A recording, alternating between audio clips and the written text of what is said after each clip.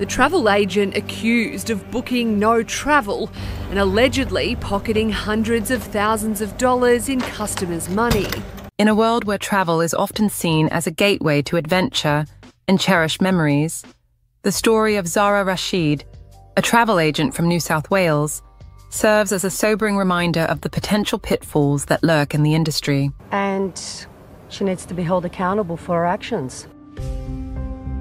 The agency closed up, and owner Zara Rashid nowhere to be found. Once regarded as a promising figure who promised families trips of a lifetime, Rashid's fall from grace has left numerous customers out of pocket and heartbroken. Travel agents are often seen as trusted advisors, guiding clients through the intricate world of bookings, itineraries, and travel arrangements. Zara Rashid, through her agency Travel World Sydney, capitalized on this trust. Families eagerly handed over their hard earned money, each hoping to create unforgettable memories abroad. However, instead of enjoying dream vacations, many found themselves stranded at home, grappling with the harsh reality of being scammed. In May 2023, a wave of discontent began to surface among Rashid's clients. Upset travelers reported that they had spent thousands on overseas holidays only to discover that their bookings for flights and accommodations were fraudulent. One victim, Nicole Riss, described the devastation felt by her and 34 family members who had planned a once in a lifetime trip to Greece. We thought everything was booked, Riss said, but when we checked with the airline, they had no record of our booking. It turned out we were out of pocket nearly $160,000 for accommodations alone. Such revelations were not isolated incidents. Many customers learned of Rashid's deceit only when they arrived at the airport, ready for the adventures they had eagerly anticipated. The emotional toll on these families was immeasurable, transforming dreams into nightmares. In light of the mounting complaints, police action was inevitable. New South Wales Police launched an investigation into Zara Rashid and her agency, ultimately charging her with 16 counts of fraudulent bookings and cancellations without customer notification or refund or sometimes. The situation escalated quickly. During her court appearances, Rashid faced an additional 57 charges, bringing the total to a staggering 73. Allegations emerged that she had pocketed over $600,000 from unsuspecting clients. Rashid's initial bail was denied due to concerns about her potential flight risk.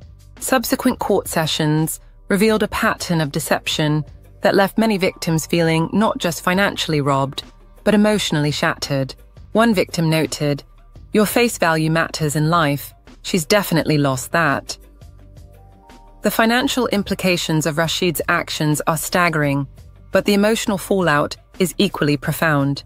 Victims like Jane and John Siblings who thought they were embarking on a family holiday were left devastated after paying nearly $20,000 to Rashid. Their dreams were stripped away, replaced with feelings of betrayal and loss. This experience has been gut wrenching, they lamented. We've worked hard for our money, believing we could give our kids a better life and create lasting memories through travel. The psychological impact on these families cannot be understated. Travel is often associated with joy and hope, but for Rashid's victims, it has become a source of anxiety and distrust. The realization that they had placed their faith in someone who exploited that trust has left many grappling with feelings of vulnerability. The unfolding saga of Zara Rashid serves as a cautionary tale for consumers. As travel resumes to pre pandemic levels, the need for due diligence when selecting travel agents is more crucial than ever. Prospective travelers should conduct thorough research, seek recommendations, and ensure they are working with licensed and reputable agents. Meanwhile, the legal proceedings against Rashid continue, with many hopeful that justice will be served.